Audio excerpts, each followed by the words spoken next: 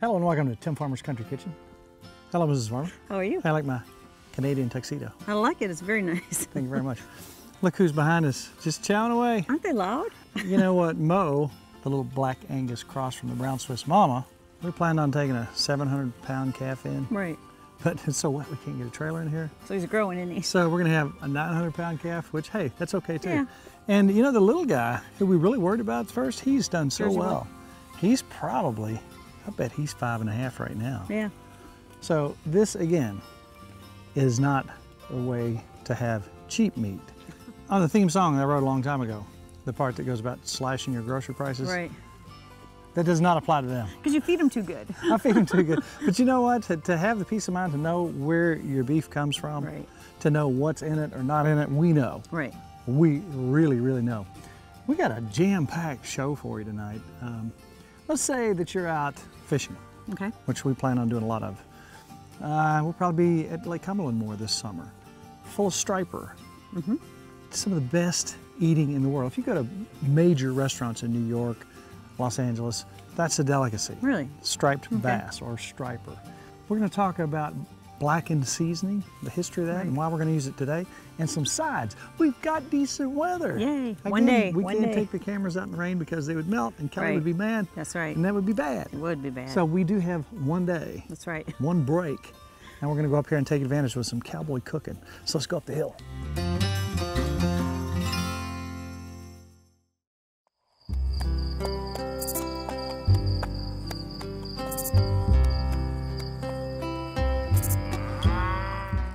Get the cowboy cook today. We got some water boiling. We got that. We got that mm-hmm. going for us. That's good. Now, you've seen us striper fish before. Here's a clip from Kentucky Afield. Now, while you're watching us pull these huge fish in here, I did this for about 20 years. It was a great job. The resources are great here.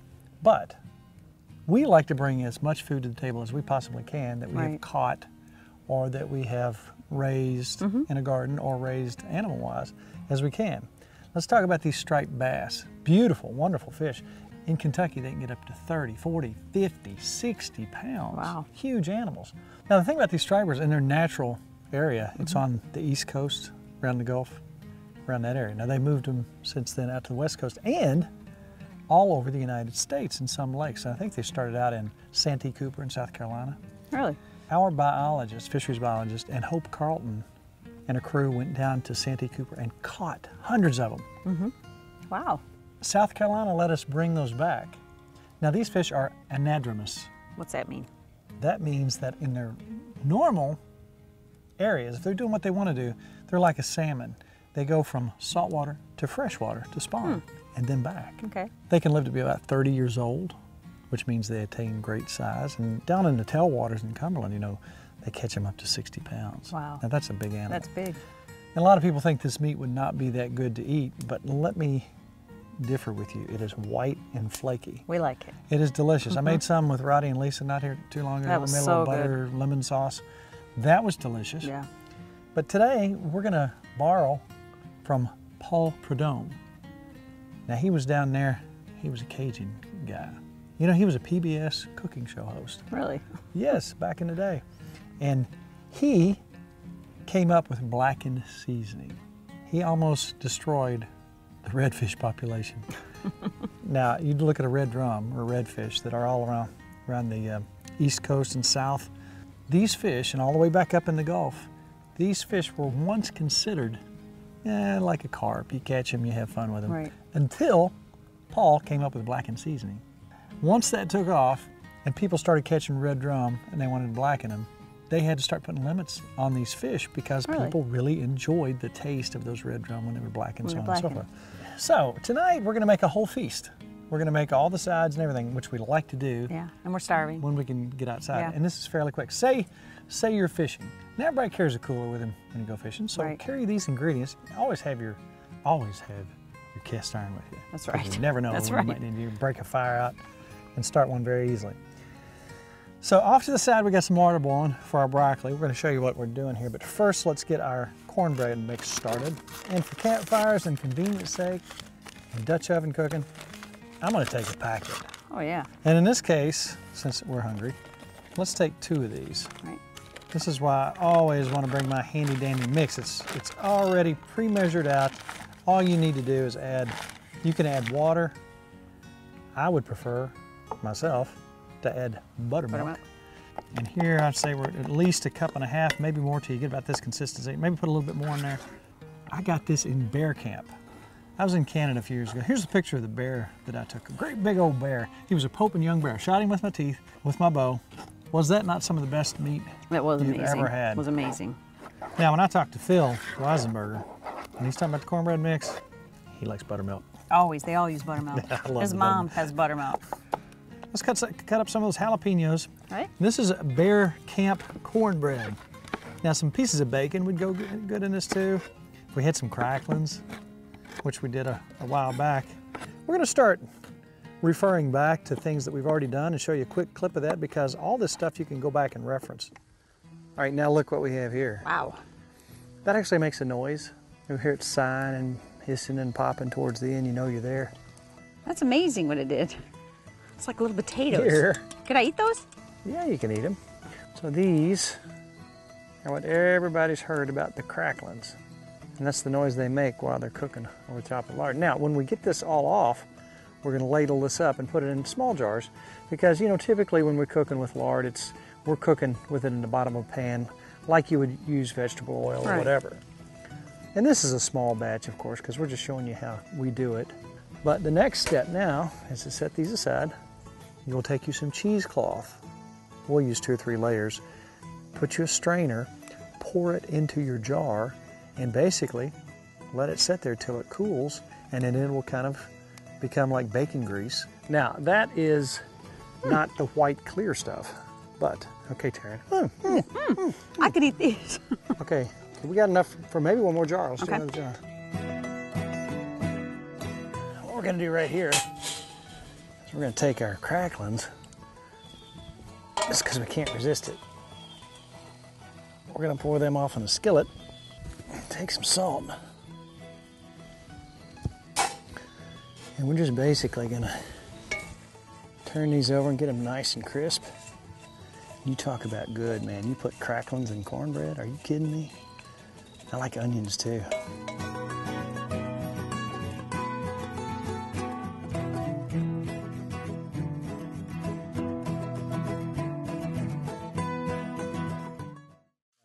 When you render your lard down, you end up with cracklings. Those And are good. That's a crackling press up on the porch there. They would squeeze every bit of stuff they could get out of there for their lard. And you know why they wanted their lard, because it's precious oh, stuff. Oh yeah. That's good. Is that good enough? Yep. Now these are not the hot ones. These are the mild jalapenos. So I'm not gonna burn my eyes out. No, you won't burn your eyes out. Let's add about, I don't know, four, six ounces of corn, not the whole thing. A little bit of corn. Little more. That gives you some nice consistency. Let's cut that onion up, about half that onion. Right. Put that onion in there.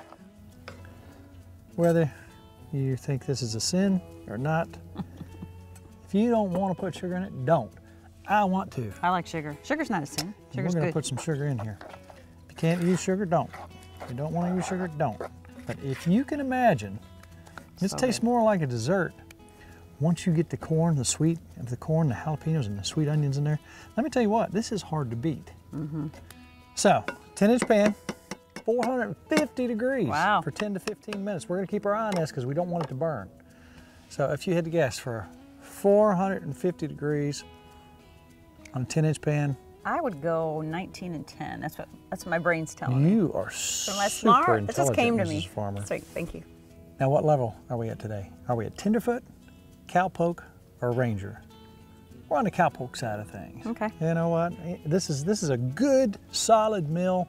You know, so a couple things are in packages. Mm-hmm. So if it was really complicated, we'd go on up to ranger. But but today it's a good, good solid cowpoke. Now, Mrs. Farmer, we also have water on the boil. So in a second, what I would like to do is take the heads of these off Okay. and drop those in there.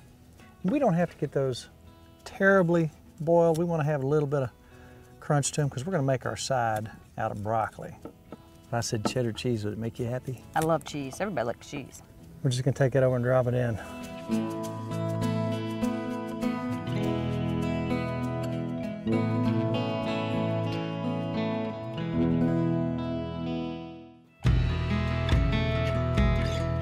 All right, so blackened seasoning.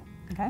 Now this is pretty close to Paul Prudhomme's original seasoning. I think he put this in a cookbook back in the 80s. And a lot of people have taken his recipe and changed it around a little bit, but that's, that's where it started. Let's start with two and a half teaspoons of salt, one full tablespoon of paprika, a teaspoon of onion powder, a teaspoon of garlic powder. Now on your cayenne pepper, if you want it hot, go a teaspoon. If you want it less, go half, three quarter, three quarters of a teaspoon of black pepper, three quarters of a teaspoon of white pepper. Now you know the thyme mm-hmm. is what you really taste in there. So we're gonna go a half a teaspoon of thyme, half a teaspoon of dry oregano, then we're gonna go a half a teaspoon of fennel, and that's what we've added. And I took my fennel seeds and I just basically, it takes a little work. I ground them up there, but I think it adds a nice little taste to it. So we're gonna take all those ingredients, we're gonna put them in our little bowl.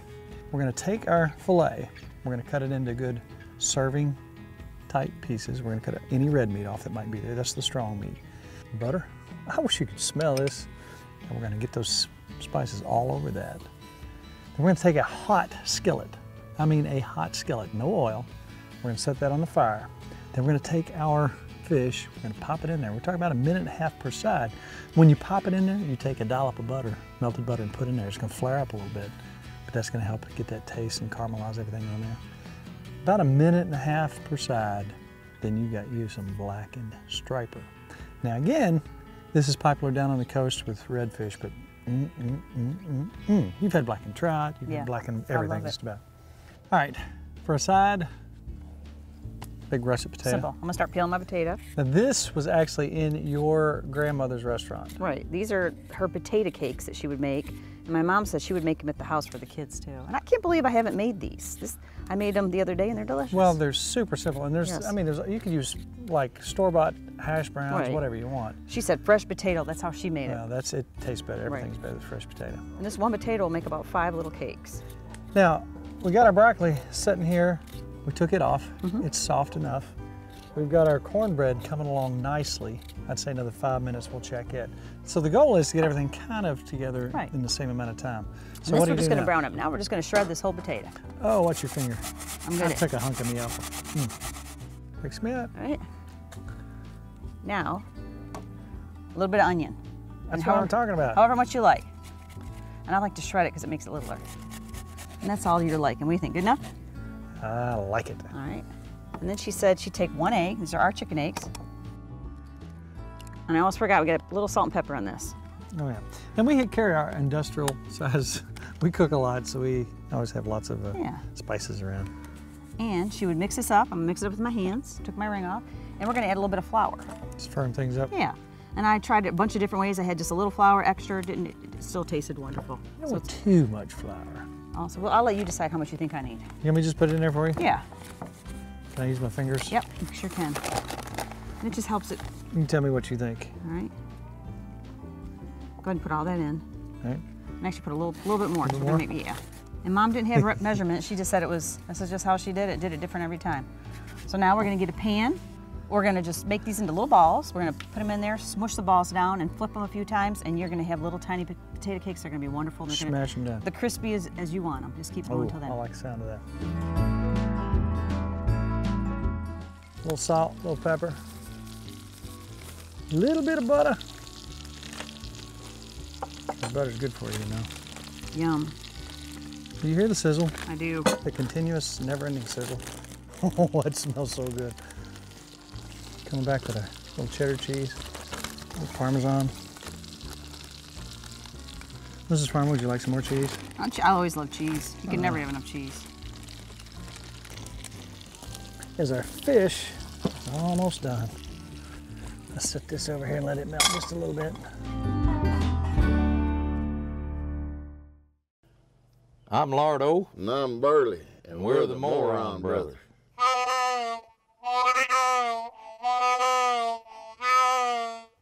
Got a frog in my throat. He talked about Uncle Ben there. Uncle Ben, uh, he was bad to make moonshine, and uh, he, he done it a lot. He was good at it, but uh, it finally killed him. They used to dig a big pit in the ground, line it with plastic, and that's where they'd put their their mash and let it work, you know, let it make uh, alcohol in this big pit. He drowned in that pit of in that big pit. He drowned and had to go tell Aunt Judy, and Daddy the one told Aunt Judy said that Uncle Ben was drowned in that big pit of mash up there. She said, Lord have mercy, bless his heart. Said, I feel so bad for him. Dad said, you shouldn't because he got out three times to go to the bathroom. Shawnee Creek. All right, then. Well, down the river Shawnee Creek, and a fella called Muskrat Dan. He lived on the water with a pretty little daughter, and Lord, he's a mean old man. I slipped down and visited with her, and he's out checking his trap line. If he ever catches me, he'll have my hide to grind. I'm going down to Shawnee Creek, take my pole and gun, do a little hunting and fishing, see my gal and have some fun. Sometimes fries up catfish, coon, muskrat, and squirrel.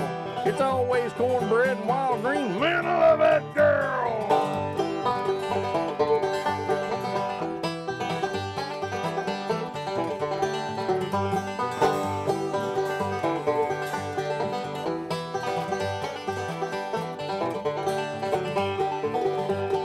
She wears a red bandana in her hair, I know where her pap is gone. If I don't see a red bandana there, that mean old man is home. I pull my boat up on the bank and I hide there in the weeds.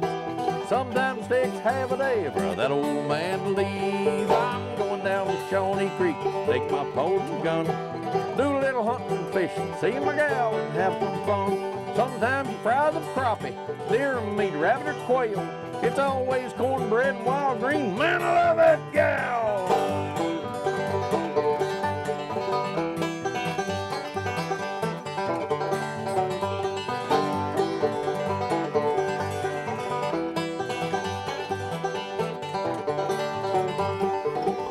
Gonna build us a little old shanty boat and make her my river queen. Every day we'll eat a different kind of meat with a cornbread and green. I'll have to face old Muskrat Dan, I hope he don't draw his gun. He won't be losing his pretty little daughter, just have me for a son. I'm going down to Shawnee Creek, take my pole and gun. Do a little hunting and fishing, see my gal and have some fun. Sometimes he cooks me a big old carp, possum or beaver tail. It's always cornbread and wild green. Man, I love that gal!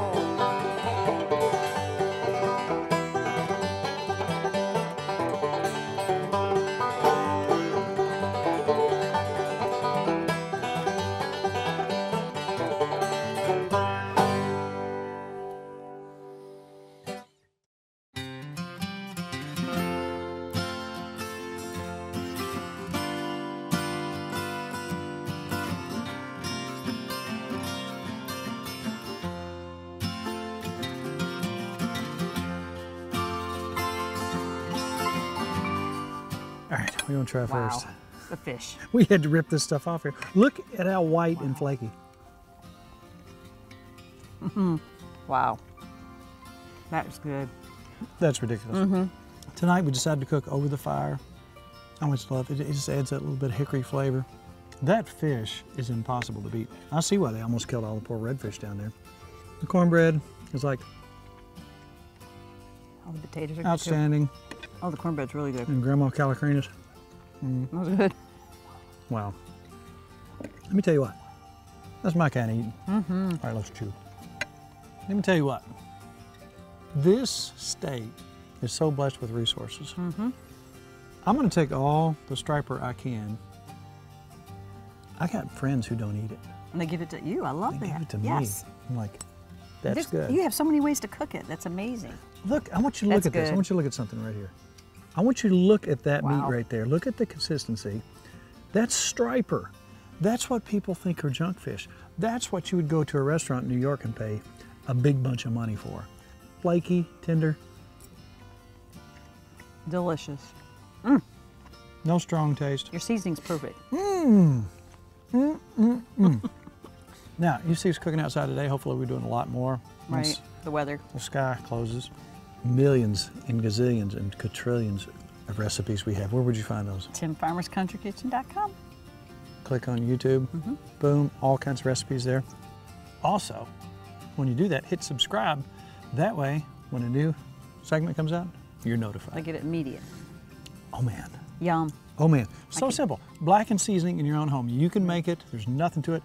What I do if I know I got a bunch of fish coming, Right. As I make a big batch of it. I'll take one of those containers that are empty and put about that much in there.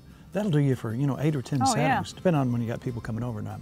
Facebook. If you want to be our Facebook friend, what would you do, Miss Farmer? I'd hit like. Just boom, hit like. You're on.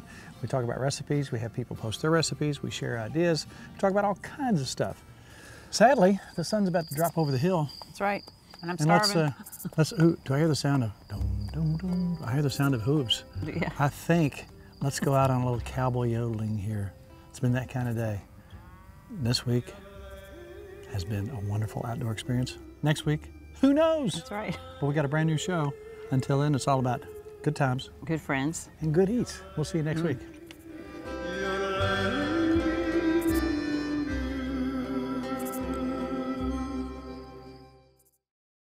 To order a cookbook, email timfarmerck at gmail.com.